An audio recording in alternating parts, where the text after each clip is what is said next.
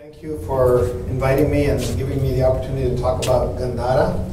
It's actually something that I've always wanted to do work on, and it wasn't until excavating 30 years at Harappa I had the opportunity to move, to move a little bit north and start working on sites in the Peshawar region and also in Taxila. So I was invited by Dr. Abdul Samad, who is the Director General of Archaeology of Khyber Pakhtunkhwa, to work with him and Hazara University at a site called Bhamala. So I'll be talking about Bhamala Stupa. Uh, Dr. Samad, Dr. Uh, Muhammad Hamid, and Dr. Shakirullah were the ones who were directing the project, and I and some colleagues from India came in as, as um, collaborators. So um, the first slide here shows a picture of what a real Gandhara sculpture looked like with color on it. This is from the Lahore Museum. It's been actually conserved, so it's been some colors have been added to it today, recent, recently. And then an intaglio seal showing Gaja Lakshmi, Lakshmi being bathed by elephants, uh, carved in garnet that was found in Bhamala Stupa. So these are things that you probably never have seen before relating to Gandharan art. So I thought I would start off by showing you how it's so different and this, how rich Gandhara is and the diversity of material that we're going to be talking about today.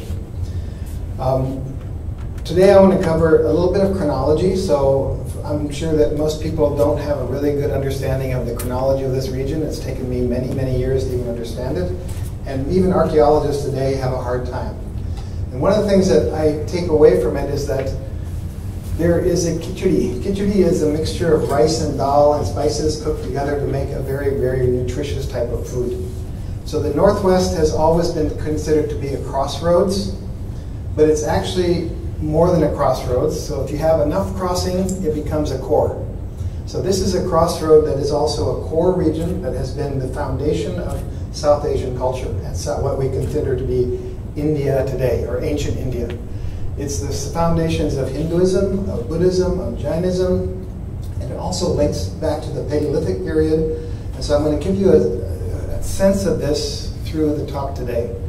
And a lot of this work has been done by scholars before me, so this is not all my work. I'm going to try to acknowledge them when I get to that because I have only recently started working in Gandhara.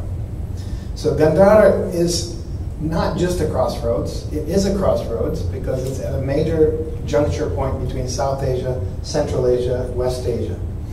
But it's also a core region that itself produced new material that was then spread throughout the subcontinent. And then I'll end by talking about why Gandhara is important to the archaeology and cultural traditions of Pakistan and India, as well as South Asia in general. So the earlier talk was about the Indus civilization. And the Indus civilization focused only on the, Ganges, the Indus plain, which is bordered to the ed edge of the Ganges. But this discussion is going to call, I call it the Indo-Gangetic tradition. So it's the Indus and the Ganga region together combined to create a larger sphere of influence. And it starts at the end of the Indus, and the end of the Indus is actually the beginning of this process. So there's a very big overlap, which I won't go into today, but I'll give you examples of the connections between the two. We call this early period a regionalization era when people begin to interact in different regions and new structures and networks develop. Archaeologists refer to this as a period of early chiefdoms and city-states. The literature that we have from the sacred literature of South Asia, the Vedas, refer to this as a Vedic period. So this is the Vedic period of uh, ancient South Asia. But we also have non-Vedic communities that we know are present, and they are referred to in the Vedas, which are texts, and those communities were surrounding this area. The main focus of the region of the Vedas is the Sapta Sindhu, which is the seven rivers, goes from the Ganga to the Kabul River, including the five rivers of the Indus, of the, the, the Punjab. Um, the integration is when all of this comes together into a big urban phase. That happens during the Mauryan period. So the first Chandragupta Maurya was the first ruler to integrate all of northern India and Pakistan and Afghanistan into one state. And he did this with warfare, very brutal, and his son Ashoka was equally brutal, but then Ashoka converted to Buddhism or uh, attributed his change of policy to Buddhism. We don't know if he actually became a Buddhist, but he said nobody should kill each other, they should be peaceful, and he used made it the state policy that everybody should follow these traditions. He was followed by the Kushana dynasty, which is an important dynasty. The Kushana dynasty is normally associated with Gandharan art, but Gandhara is actually much older than the Kushana period, and it goes back to the early period. So what I'm going to try to present to you is the origins of so-called Gandharan art that start much earlier and continue on into this time period. I won't be talking about the Gupta. Um, so this area, based on the Vedas, the sacred texts of the, of the Vedic period, which are the Rig Veda, the Sama Veda, the Yajur Veda, the Atharva Veda, these four texts became the foundation of what is later considered to be Hinduism, Brahmanical Hinduism. And their later texts, the Upanishads, and then eventually the Mahabharata and the Ramayana. But the Vedas that we have preserved were actually memorized in the far regions of the Ganga and passed down to us. So there are only four texts out of thousands probably of other Vedas that are no longer present. So just keep that in mind. The texts were being created here by communities living in this area called Sapta Sindhu, from the Kabul River to the Ganga. So this entire region, which is Harappa is right in the middle of it, is kind of links to what we talked about earlier. So this is the northern part of the Indus Valley. It's where we have cities that you know have their foundations at 4000 BC, and even go back earlier to the Paleolithic. And I'm going to show you how that works in the Taxila Valley.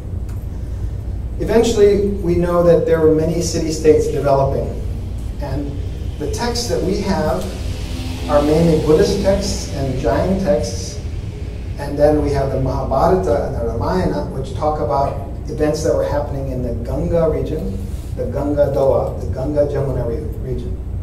So that's why we know all the names of every city on the Ganga and the Jamuna. We know some of the major cities in central India, Ujjain, we know a few of them in the south, but this all this region was called Barbara by the people in the Ganga. They called it Barbara because they didn't know anything about it. And it was a region that was still very powerful, and the cities of the Ganga could not conquer this region because this region was ruled by different kinds of groups. That we know what they were. They were non-monarchical cities. So this region was still controlled by lots of people. It was very heavily populated, but the people in the Ganga could not conquer. And they called it Barbara. It's like calling everybody else foreigners, and we're Americans, okay? That's, that's basically what was happening. But Taxila is at the northern part of this Barbara region. And we know the names of these areas because those areas are, if you go back to this slide, it's called Gandhari, which is right up here in the, in the Vedas. And later it's called Gandhara, and it goes from Kabul to the Peshawar Valley and Taxila. And Taxila is one of the largest cities of Gandhara. These polities in the Ganga and then some that we have mention of in this region are called Mahajanapada. Mahajanapada, mean, Mahajanapada means a big group of people, which is a big polity. And they were the big states that were developing. So the main developments of texts are among the people living in the Ganga Jamuna Doab, Mahabharata, Ramayana, and the Jain and Buddhist texts, which happened because a guy named Mahavira happened to live in a place called Vaishali over here, or Benares, and then um, Buddha lived in another area just further, a bit further to the, to the uh, east. So the Jain religion is one of the earliest religions that we have a good documentation for in South Asia, in addition to Brahmanical Vedic traditions. And I just got a huge package of giant texts from a guy in India who says the Jains are actually the oldest religion that goes back to the Indus Valley civilization. And I agree with him. Because the foundations of the Jain religion can be dated back to the first saint called Adinath. And Adinatha is the first one, and they consider this is the beginning of the saintly tradition that leads up to Jainism. The 23rd reincarnation of Adinatha was born in Benares, and we know that that dated to around 800 BC. So Benares is in the Ganga Jamuna Doab. The, the 24th is a guy named Mahavira, Vardhamana Mahavira, and he was born at Vaishali. So Vaishali is a big city-state in the southern Gangetic region. So his religious tradition followed a concept of ahimsa, or nonviolence, of renouncing all pleasures, of basically not having sex and not procreating, and eventually gaining immortality or moksha, release from this worldly reincarnation cycle. It's a very strict and hard religion to follow. But there are many different ways to follow it. Okay, So Jains Uh, today are some of the biggest merchants and very powerful communities in South Asia and abroad. And some of them fast until they die and they get released. So this religion is still practiced today in South Asia and its foundation is, goes back to this early time period. So the period of early states is the spread of Jainism from the Ganges to South India to other regions. It also sees the development of Buddhism. And Buddhism is a some, some people say it's an offshoot of these other concepts, but other people argue that it's a totally separate process. It also has a very long history. Before Buddha, the stories of Buddha before he became Buddha are found in texts. They tell about his life in previous incarnations and help us understand the history of this region. So Buddhist traditions talk about compassion, right action, right thought, the middle way, how you don't have to fast till you die, but you can still be there to help other people and you can be compassionate. And there's lots of different traditions that are emerging. So Jainism, Brahmanical Hinduism, and Buddhism, all three contribute to the milieu that was present in this region, and they all were happening in the same cities, the same ritual areas, the same pilgrimage places throughout most of North India up to the, up to, to the Deccan. Um, and this was happening, you know, 800, 1200 BC, all the way up until after the death of Buddha. Northern subcontinent, the Indus Valley, was such a prosperous region that it was sending textiles, gold, commodities, crafts to the Iranian consumers. And the rulers of Iran wanted their silks, they wanted their cottons, they wanted their beautiful um, jewelry, they wanted all this stuff, and they got tired of paying their taxes on it and paying for the trip shipping, so they decided to conquer the Indus Valley. You don't take an army from Persepolis across the Hindu Kush Mountains and into a region just to conquer a bunch of shepherds. You do it to conquer the cities that are producing the most valuable things in your world. And the the duty that the Iranians made the Indians pay was pure gold. They said, you're going to pay taxes in pure gold. All other parts of the Iranian Achaemenid Empire paid in commodities. Slaves, textiles, oil, anything else, but the Indus Valley had so much gold, they only paid in pure gold dust. And that's because the Indus merchants decided, we'll give you all the gold you want, just go away and we'll take care of ourselves. So the Achaemenids claimed they conquered the Indus Valley, and they did with an army, but they didn't stay there. So they went away, and we have very little evidence for Achaemenid architecture or Achaemenid culture or Achaemenid pottery or Achaemenid uh, artifacts because everything is local. So this was done in 559 BC by Kurush, by Daryavush, by Sharyabharsha. These are the three rulers that three times they had to conquer it because people stopped paying taxes, so they had to come and send an army again to do it. So that means that this region was extremely wealthy. Extremely wealthy with all kinds of commodities, and this was the core of what was happening in South Asia. Not the Ganga, but the northern Indus Valley. Now the Iranians had developed a, a, a very big script, they have a writing system, but the version that we see that starts spreading into this part of the world is called Kharoshthi. It's written from right to left, and it's the way in which people were writing on the eastern part of the Achaemenid Empire. And the other side, they were using still cuneiform, because they were using old cuneiform as a form of, of writing. But here they started developing a form called Kharoshthi. So this is the expanse of the Iranian Empire. Uh, Achaemenid Empire. So they controlled everything from Turkey to the Indus Valley, parts of the Indus Valley, sorry, and then even on into uh, the Near East and then parts of uh, almost to Egypt. So they controlled a huge area. So when Alexander the Great, and my name Sikandar didn't really come in Harappa, it was given to me when I was working in Balochistan because nobody wanted to say Jonathan Mark. And Mark in Urdu means to hit. So I didn't want people calling me Mark, okay? It means I'm going to hit you all the time. Um, so anyway, so Alexander came and fought a couple battles and eventually chased the Darius and killed him, or he was killed by his, his own people. And then eventually he heard that there was a king that Darius had sent a letter to, had said, please send me your elephants so that I can beat this foreigner, meaning Alexander. So the Achaemenid ruler had sent a message to King Porus, and not Porus, to King Umbi and rulers in the Indus Valley to help him fight this guy. Alexander's spies caught that message. So Alexander was very petrified that there was somebody going to be coming with a big army of elephants from India to fight him. And elephants were like the, the you know, laser bombs and tanks of the modern world. And he decided that I'm going to chase Darius, and that's when Darius was killed. And all this time, he started worrying about this king in this guy area that had big elephants. When the king uh, in the Indus Valley, uh, in Umbi, found that Darius had been killed, he just turned around and went back.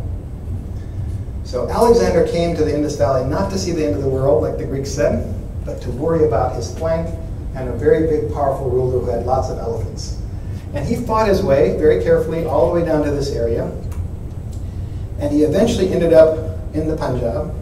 He got Ambi, the king of, of Charsadda, of Peshawar area, to, um, or to uh, help him. And then he went to, to Ambi, the king of Taxila. Taxila king said, okay, I'm going to help you. And then, guess what king of Taxila said? There's a really bad king across the river. His name is Porus. Can you help me go fight him? And Alexander had to re- get his troops together, and they went to see if they can get Porus. And Porus had a bigger army and many more elephants than Ambi. And they spent several months trying to negotiate the river. And finally, they got into a battle, and they fought all day long. And at the end of the battle, who do you think won? The Greeks said that Alexander won. And the Greek text is the main text, but there's a Persian text, there's an Egyptian text, and the Greeks don't like those texts because those texts tell a different story. We know that Alexander went and lived with Porus after the battle. If you conquer somebody, do you go live with them? You kill them. You destroy their city.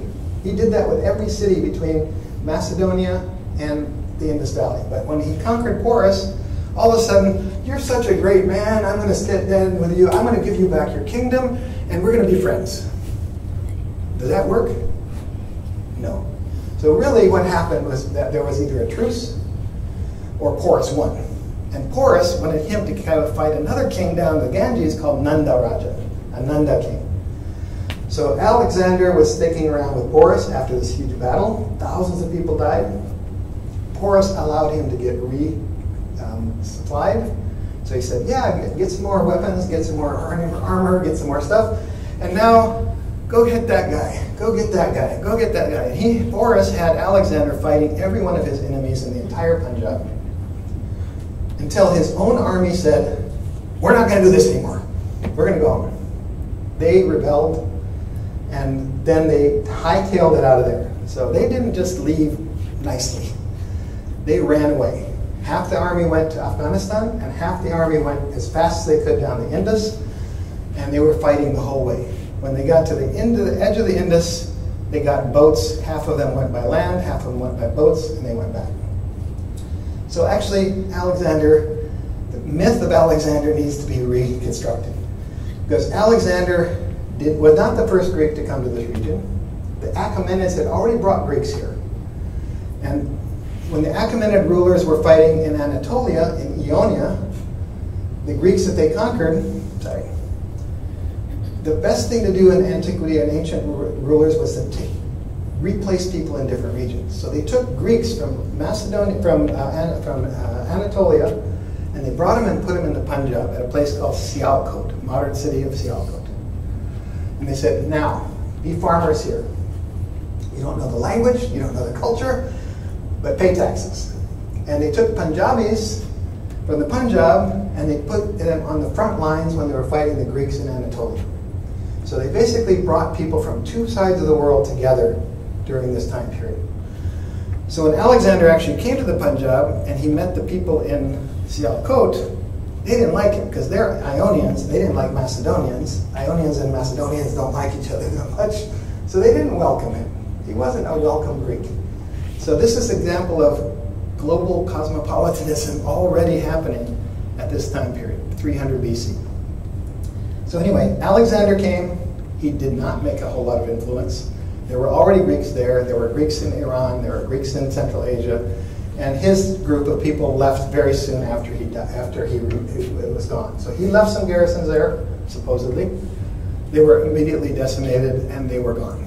The people who stayed there who were Greek were Indo-Greek. They were Greeks who had already been there during the Achaemenid period, who had intermarried with local people, who had adopted some of the local religion, and they had been there for generations probably. We know that Greek culture was present and Greek ways of presenting things were different than the art of South Asia because the Greeks put their faces on their coins, South Asian rulers never did. So these are some of the later Greeks. We know that the Chandragupta Maurya became in control, and he controlled the region of Taxila shortly afterwards.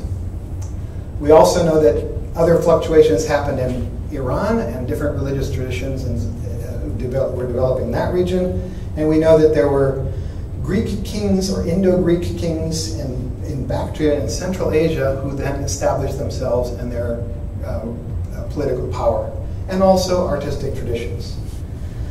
So at this time we have a new player coming in, and by about 165 BC to 135 BC, the Emperor of China emerges all the way on the other side of the world and starts pushing out communities that were nomads in China and one of those communities is called Yuezhi, and this Yuezhi are what we call Kushana today.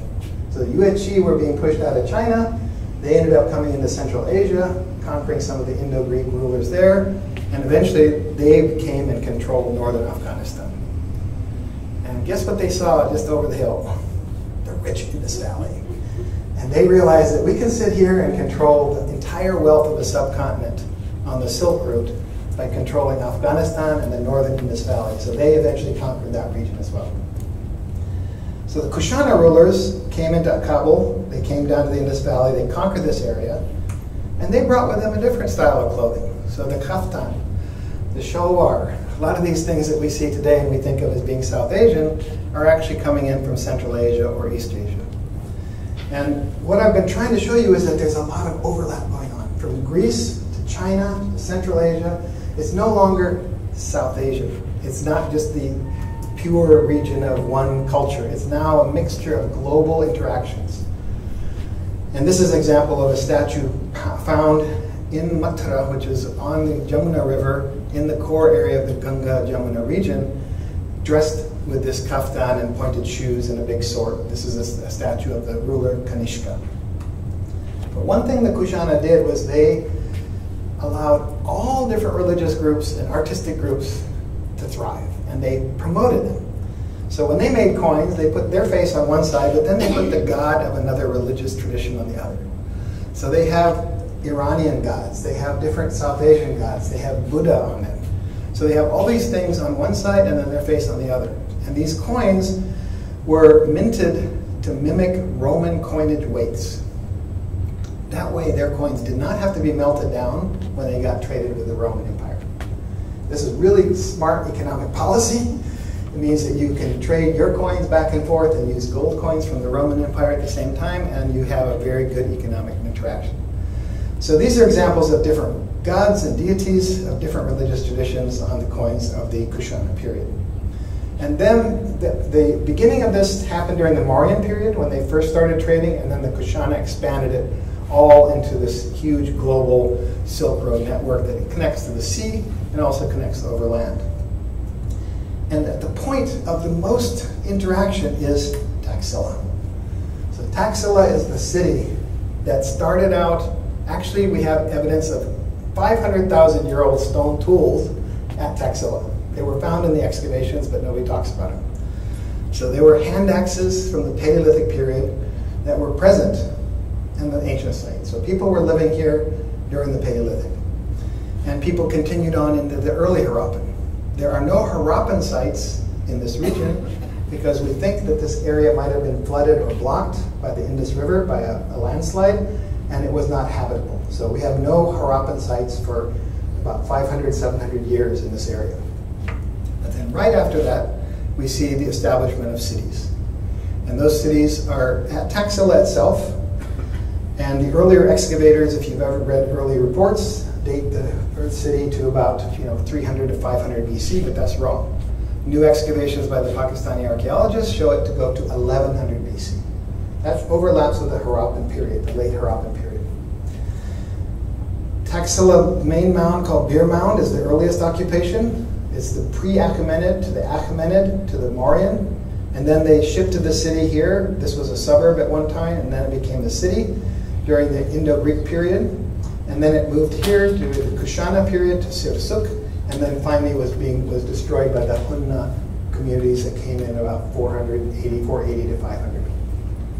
And Islamabad is just over the hill. So this area has been inhabited since 500,000 years ago. And it's an important trade network that links the north and south and east and west.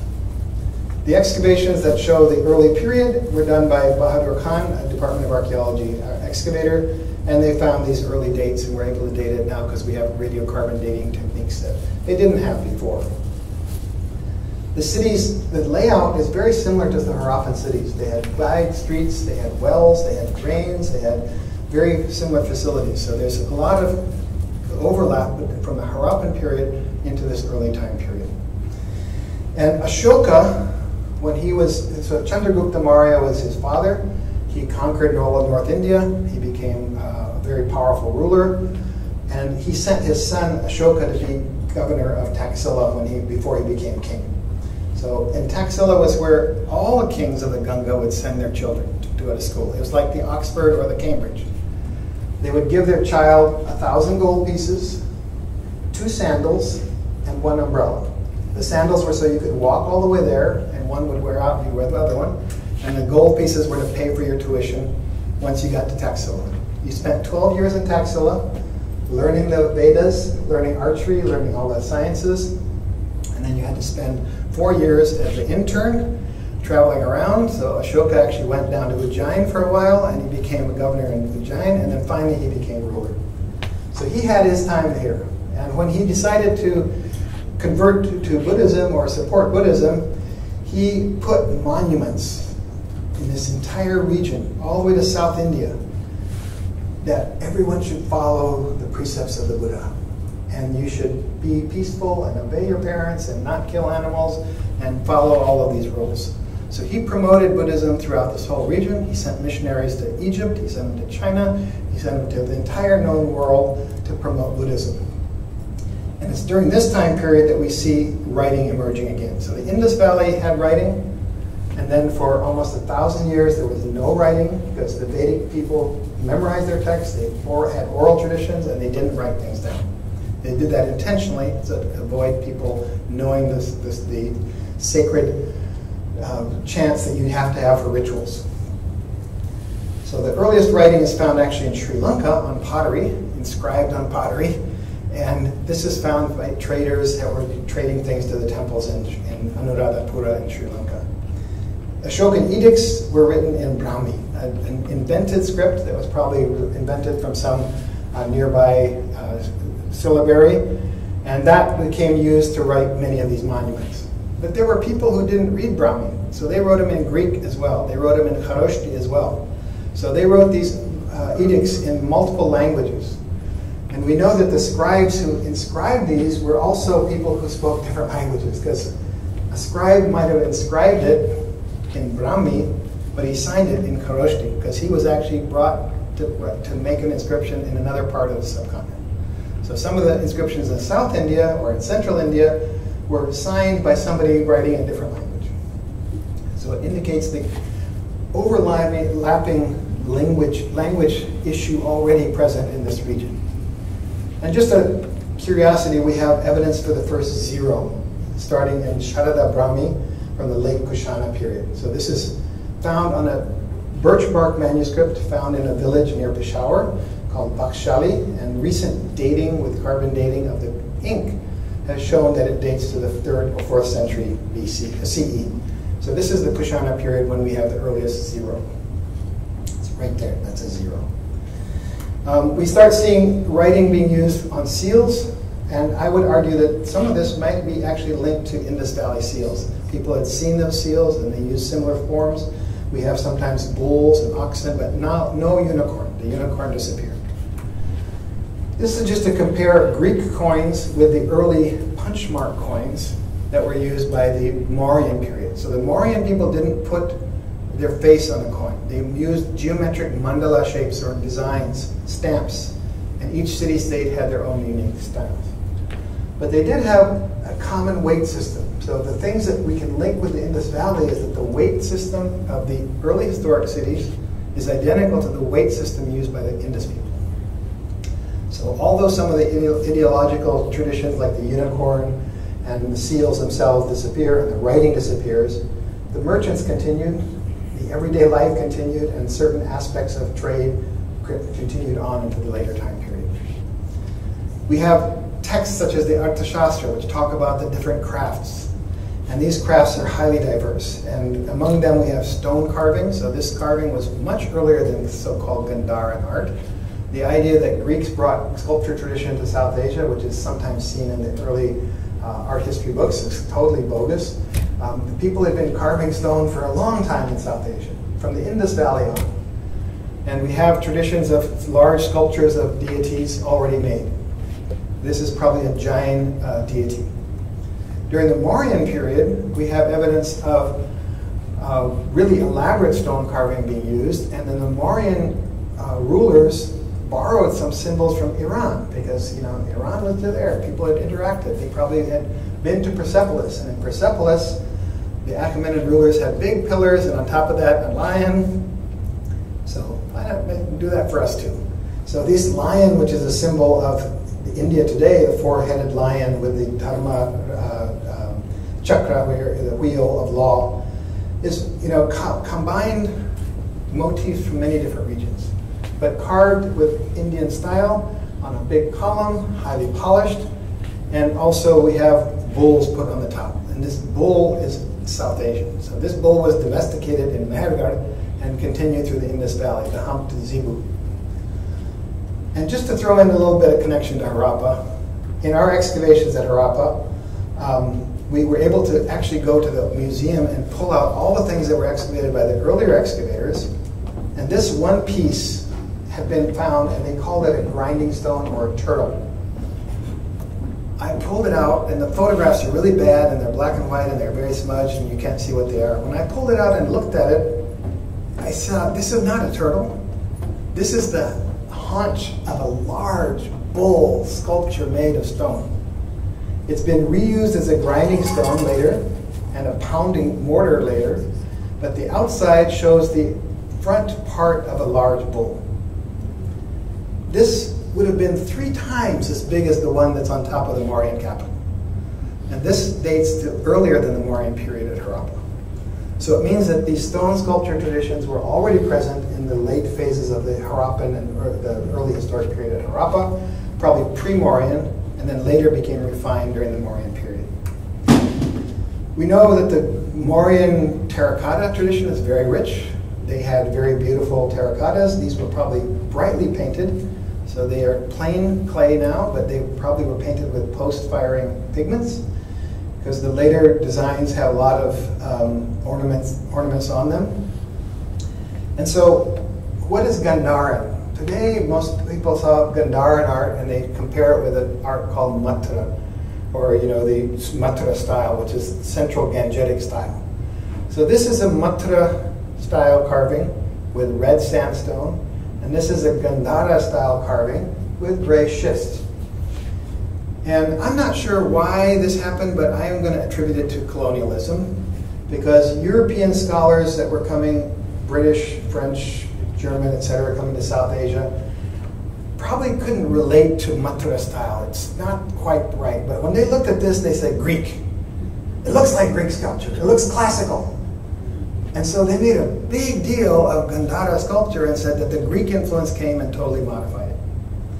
I don't agree with it because there's some Greek elements in here. There are definitely some elements of Greek style of decoration, but basically, we have no sculptures of Greeks with halos on them. We have no sculptures of Greeks with all these ornaments on them.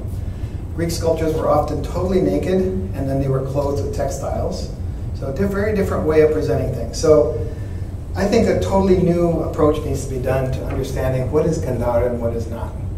We do know that many so-called um, myths or stories from various religious traditions became embodied in the art. This is a weight lifting thing, so as you lift weights and you say Krishna, Krishna, Krishna, you know Krishna was very strong, and there's a picture of Krishna destroying a, a demon a horse. So this is a way that you can link your weightlifting and gym work to an ideology. We also have, this is work done by Dr. Abdul Samad. He's just published a book on the origins of Hindu iconography in Gandhara. There are more images of Shiva and Maheshwara and Uma in Taxilan art than anywhere else. These are the places where these images begin. We have pictures of Varaha, which is the incarnation of Vishnu. Pictures of Garuda capturing a maiden. Now Garuda is associated with Zeus capturing Ganymede, a boy, that then is now translated into Garuda, which is the vehicle of Vishnu capturing a female. Uh, so totally different interpretation. And then Skanda Kumara, who's the son of Shiva, which is also, these are symbols that we're seeing in Gandharan art that usually get glossed over. People focus on the Buddhas Bodhisattvas, but not all of these other images. And then all of the household shrines. There are hundreds and hundreds of household shrines that show deities and mainly goddesses that were worshipped in the home. These are made of clay. And each of them reflect local traditions that are being preserved in the household and passed on. So I just wanted to kind of elaborate that there's a lot more to Gandhara than just some just sculptures that have been highlighted because they kind of look Greek, and that links us to this Mediterranean uh, ethos. Dharmarajika is also such an important site because it is a site that has been rebuilt and rebuilt and rebuilt many times. It was founded by Ashoka at about 250 BC. We don't know which structures are built by Ashoka. They were probably underneath the center of this. The main stupa was looted, so they took the relics from inside. But we have lots of sort of smaller stupas around it that were not looted. And some of those had tiny little votive um, containers. There's one downstairs that I put in the gift shop, an example, that had ashes in them. And some of those were inscribed saying, these are the ashes of the Buddha. So when the Buddha died, his ashes were first divided into eight separate piles. And then those were buried in eight sacred places. But then Ashoka decided, I'm going to unbury all those and I'm going to make them and put them into tiny little things of the size of a pill capsule and send them everywhere in the world. So he took the thing the size of a pill capsule, put a little bit of ash in each one, and then sent, they were made of gold, and he sent those to everywhere. And so lots of rulers got a little bit of ash from the Buddha, and then they would donate it back to Dharmarajika. So that's what these stupas are. So in but Benares, uh, in Sarnath, Sarnath stupa was destroyed by a later king. He destroyed the ashes of the Buddha, he threw it all in the Ganges River. So when Sarnath was being rebuilt by the Archaeological Survey of India, they were just excavating Dharmarajika. They found one of these Buddha stupas, and one of them was in size that said, this is the ashes of the Buddha. So they decided, we're going to take this ash and take it to Sarnath. So that ash from Dharmarajika, from a small stupa, was sent to Sarnath. Another ash was sent to Sri Lanka. So these are things that, have, that you probably aren't familiar with, but as how the the idea of the Buddha and the ashes continue to be set around. These stupas had lots of beads put in them. People put ornaments. This is this one in Sanchi. And we see them today as stone sculptures, but they were not just plain stone. They were probably decorated with gold, like we see today. So this is, stupa was built in Kathmandu in 464 CE during the late phase of this time period. And you see it's heavily painted. They paint it every year. This is an example of the Kushinagara Stupa, which was first set by Ashoka, and we have also a Buddha laying in Mahaparinirvana. So Mahaparinirvana is the Buddha when he loses his earthly body. He already had attained enlightenment, so you can't die again, okay? Only your body dies. But when his body died, this is called the, the parinirvana. Parinirvana means it's going, into nirvana. And this is the Mahaparinirvana. And I like to throw, show this picture of Meenakshi Temple in South India. This is what those stupas probably looked like. They were painted with the richest and the brightest colors that people could have, and they were painted every year because monsoons washes it off and you have to repaint it. So part of the worship is to pay for the repainting of the stupa, and it would be done every year. And we know that these sculptures were painted because we have examples of them. Very few. This was the one, this is the one in the Lahore Museum that's been kind of very garishly re reconserved. This is one from um, the Asian Art Museum here in Chicago. You can go and see it. And another one, and these still have the paint there. This is one from Mes Aynak in Afghanistan, a stone one painted with the gold, uh, the red, and then wooden ones which were also painted. And they're decorated with these jewels which you cannot see unless they've been painted. So these things were probably faceted and very, very highly polished and decorated to make look, them look like the real objects which were gold. And so this is where I come to Bhamala Stupa, where I was able to work with uh, Dr. Samad, Dr. Shakirullah, and Dr. Hamid. So Taxila is here, and Bhamala is located on a small river called the Haro River, which is the path to Kashmir. So Taxila and Kashmir are linked through this river. You go over the top and you cross the hill and you're in Kashmir.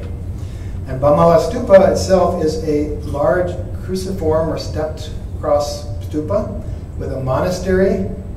And Marshall, John Marshall in 1929 um, excavated this area and this part of this area, but he left this large room unexcavated because he thought it was too badly looted. This is a view of the stupa. They've been cleaning it and uh, updating it, and then this is the room that Marshall did not excavate. Uh, in their surface clearing, they found that seal that I showed you. So most people don't pay a lot of attention to tiny little objects, and I do. So I, we analyzed it. It's a special type of garnet found from northern Pakistan. And it's also engraved with a style of carving that's not Greek. It's carved in a style that is very different from the Greek style of carving. And it's carved with Lakshmi, an Indian Hindu goddess, who is also Buddhist deity, being bathed by two elephants. It's a very South Asian form. Um, the shape has been likened to, uh, there's other examples of this that have been found, and many people argue that they took the style from Greek and Roman seals that were showed a victory or a deity, and maybe they did, but the carving style itself is, is slightly different. So it suggests that there are local carvers developing their own technology to, to, to manufacture these. The excavation of this room is when I became really excited about this site because it happened over a couple of years, and I watched them and I helped them document it. I trained some of the students in mapping and how to excavate it. And I kept coming back and watching it, and they exposed the room. We found lots of terracotta sculptures that had been along the wall. The looters had torn them apart because they were looking for coins, and they scraped off the gold leaf that was on the outside. And they, this is Hamid standing on top of what he thought was a wall to photograph it. And then we look at the front of the wall, and it's made of limestone pieces that have been carved. After cleaning the whole thing, we realize that this is actually a reclining Buddha. It's an entire structure of a reclining Buddha that is 15 meters long. It's the largest sculpture ever found from South Asia at this time period. And it was made of carved soft stone covered with plaster that was then painted and then covered with probably gold leaf, the whole thing. So that image I showed you earlier was probably what it looked like. Marshall had found one image of the Mahaparinibbana uh, Nirvana from the big stupa. They made in stucco. It's in the Peshawar Museum today. They found more stupas behind this chamber that had smaller ones, so we know what the shape would look like. So I made a drawing that reconstructed what that Buddha would have looked like. So this is the reconstruction based on the smaller stucco images of what that massive sculpture would look like. And this is the largest and the earliest, we can date it, Mahaparinibbana in South Asia. And it's after this that other regions started developing the tradition, and then also even in Afghanistan, the huge standing Buddhas, and they have a sleeping Buddha there too. The other thing which was interesting was the terracotta sculptures around it. So terracotta art has not been given a lot of attention for Gandhara, and I think that this has been overlooked. So Hamid here is excavating a head of a sculpture. That head is lying underneath the torso of the same sculpture. So you can imagine the looters coming into this room, seeing these beautiful sculptures covered with gold leaf, and knocking off the head. There's any coins in here? Because people would bury coins inside them. Nope, knock off the torso, no coins in here. Leave the legs, and so we found the legs attached to the wall, the torso on the ground, and the head underneath the torso. So we can reconstruct these things to see what they would have been like. We can also see that they were made with a piece of wood on the inside, wrapped in cloth, some of it still burned and preserved, and then wrapped with coarse clay, and then fine clay, and then plaster, and then paint, and then gold leaf. So we can see the whole construction process of how these were done. We presented this at a conference in Europe, and some of my art history colleagues were not very happy with me because they said all of the ancient sculptures were made of clay, they were not fired. And these are examples found in Hadda and other places in Afghanistan that have been looted and sold to big museums like the Musée Guimet, and they claim that they're clay. But I think they're actually fired clay because clay itself is very soft. We do have some clay sculptures from Mes Aynak, um, and this may have been a, a, later tradition, but the earlier ones we have here are definitely fired. So I asked one of my friends, Iftikhar Ahmed. He was the one who carved the two sculptures downstairs. He and his father came to the Smithsonian to demonstrate Gandhara carving. His grandfather had been hired by Marshall to repair Gandhara sculptures, and that's how this whole tradition started. So they were hired to try to shape and, and fix the ones that were kind of broken, and then replace parts that were missing so they could put them in the museum. And Iftikhar helped by starting with a piece of wood, wrapping it with cloth, mixing coarse clay, and eventually this is what you have. You have a whole process of building from coarse to this fine surface, and we decided to paint it with red ochre and lime plaster, and then we fired it. So the whole group is here, as in the winter, it's kind of cold, and we did a quick firing. This is a way to fire something really hot quickly, and then take it out, because the inside is unfired. The, some of the wood was still unfired inside or just charred inside these sculptures. So we tried to replicate that. And part of one head blew up, but the other head was, was, was okay. I, we didn't let them dry enough. They need to dry a bit longer. Um, so this is an example of it before firing, and then this is after firing. So this is an example of what those, how that art might have been produced. And uh, Iftikhar is continuing to work with the department, helping to conserve sculptures like his grandfather. And I asked him to help reconstruct what an ancient Gandharan stupa and sculpture would look like for the museum at Taxila uh, University of uh, University. So this is in there, the Taxila Institute for Asian Civilizations and Quaid And we built a wall of what it would look like on the edge of a stupa. We only plastered part of it. And I'm having the students, we're going to be, when I go back after COVID, we're going to be grinding down pigments of lapis and ochre, and then we will paint it with different designs. And we will install these Buddha sculptures, but they will also be painted. So they're going to be totally painted. So in conclusion, the importance of Gandhara and Taxila, uh, it sees the development of a number of innovative trends. and styles that start from the Mauryan period, culminating during the Kushana period. And these, the things that we see are predating stuff found in the areas around it. So the colossal sizes of images of Buddha stepped across stupas, earliest representations of Buddha with double halo, and you can add lots of different deities from different religious traditions. and also, finally, the use of fired and painted terracotta, which in the past people said they just painted clay. We now know that they had this special technique for making terracotta that was more permanent and long lasting. So thank you very much.